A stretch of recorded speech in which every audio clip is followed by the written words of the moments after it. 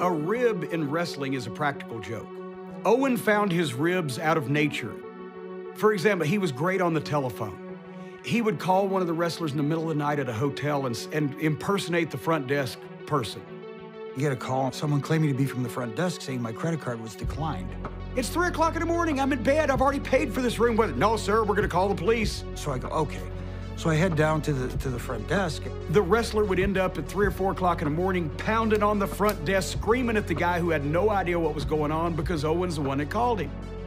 You may get mad for a second, but then you had to realize it's Owen and it's funny. I got the Frank phone calls too. He called him take his dad. It, uh, no, yeah, Owen's, uh, he broke his leg, uh, skiing. I didn't know. I thought it was Stu called to give him the bad news.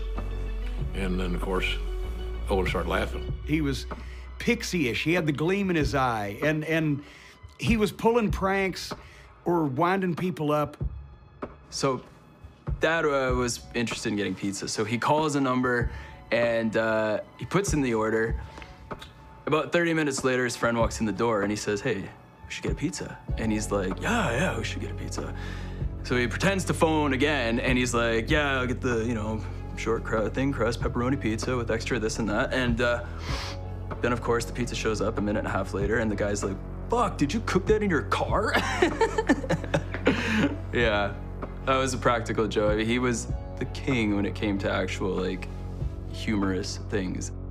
One time we were jogging, and there was this big group of runners just passing us. And Owen was just a little bit ahead of me. And then just as they were passing us, he looked back and he yelled and he's like, Will you quit chasing me? I told you I don't want to go out with you. and I was just like, Oh my God, I was so embarrassed. Many years ago, there was a hog pen match. So we're at the arena and they had just delivered these pigs to the arena. And the guy from the truck says, So where would you like these pigs? And Owen's like, Oh, follow me. I'll show you where to get them. And they escort the pigs into Vince's office. Vince walks into his office. I don't know what's going on in there. Like three seconds later, Vince comes out of the office yelling, oh, Owen! If we were doing interviews, I'd have Davy Boy Smith on one side, Owen Hart on the other side. While I'm talking, Owen would reach down and he'd shoot me in the in the crotch with the water bottle, where on camera it looked like I'd pissed my pants. I don't know this because I'm looking at the camera.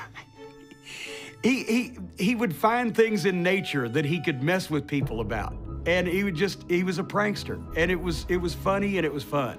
It wasn't destructive with Owen.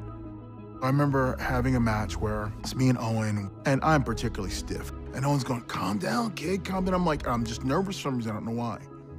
So Owen just starts wrestling me, just putting me in and out of holds. Puts chin lock on me and goes, look down your boot. Look down, my boot's unlaced. How'd that happen? So, go forward, rest around again, rest around again, snap mare, chin lock. Look at your other boot. My other boot's unlaced. How did this? I know I laced my boots. This never happens to me. Tuck my boot laces back down again.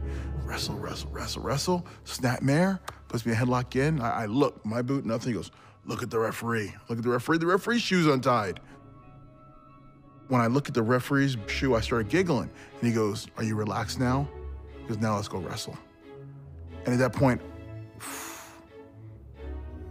he could rib you, he could love you, he could play a joke on you all at the same time in front of 20,000 people and no one would ever know it. That's how good he was.